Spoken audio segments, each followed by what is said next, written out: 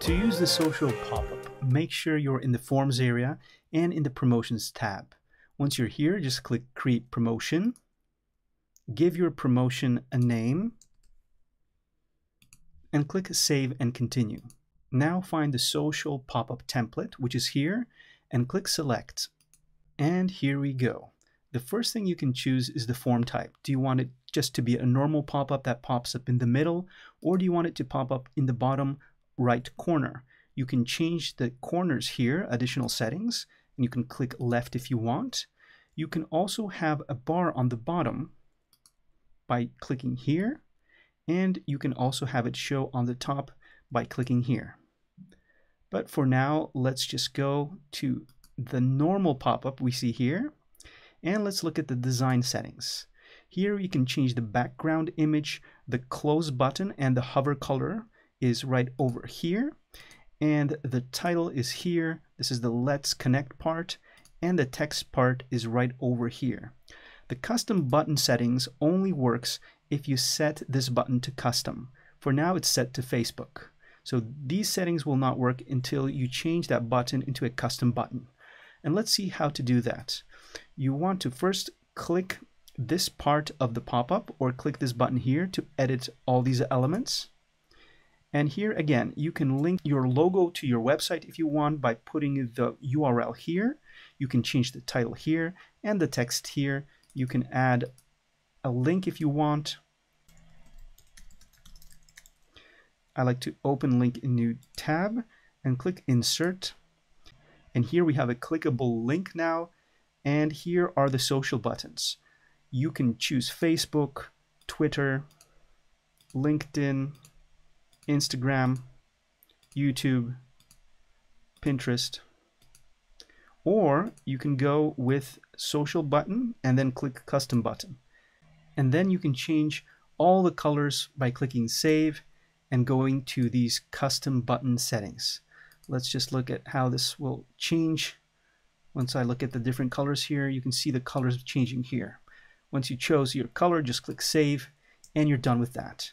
Of course, if you don't like the color, if you just want to use the standard Facebook one, you can just go back and undo what you did by using these undo buttons here. And there we go, like us on Facebook. And of course, here is the link you use for your Facebook page. And you can change the text on the button right over here. You can count this as conversions and that will show up in your stats. Once you're finished, just click Save and Next. And here are the behavior settings. You can have the pop-up wait a certain amount of seconds before it shows up once a visitor visits that specific website, your specific website. You can show the pop-up once your visitor scrolls to a certain part of your page, or you can show it before a person leaves the website and is moving their mouse towards another tab in their browser. Of course, this is not disruptive. It will allow the person to close the tab with your website on it.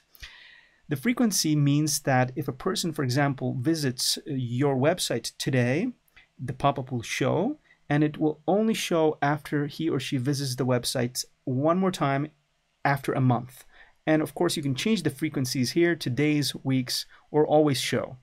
You can have the pop-up show at a specific time, probably with the social pop-up, you're not going to be using this too often because you will probably want to be promoting your uh, Facebook page all the time. So this is not a big issue. But just in case you have this, you can close the pop-up on a certain date if you want. You can also use the visibility settings here. You can always show on every page. You can hide on specific pages on your website or only show on specific pages. Hide on desktop, mobile devices, or tablet devices if you'd like. And once you're done with these settings, just click Save and Continue. And there we go. Just use this code on your website. Of course, if you already installed one of these codes, one of these MailerLite codes on your website, you will not have to add this again and again. You just need to add it once and it will work for all the pop-ups you create in MailerLite. If you have a WordPress site, just use the WordPress plugin here. If you have Shopify, just use the Shopify app right over here. Once you're done with this, just click Next. And here we go. Here's how you turn on your pop-up by using this button here. Now it's active. You can change the design settings here. the behavior settings here, and here is the code I just talked about. You can also have the pop-up show once a person clicks a link in your text or an image in your article. Just follow the instructions here and you should be ready to go. And that's it. Later on, if you go to stats, you can start looking how your pop-up is doing, the conversion rate, the impressions, and the conversions. Of course, if you check mark that little checkbox I talked about earlier on. That's it for the social pop-up. I hope you've enjoyed this video and I'll see you in the next tutorial. Have a wonderful day. Hey, thanks for watching the video. Please click subscribe, use the little bell icon. You can also catch us on Facebook, Instagram, Twitter, and of course use the little subscribe link in the description to sign up to our newsletter. Thanks again and see you in the next video.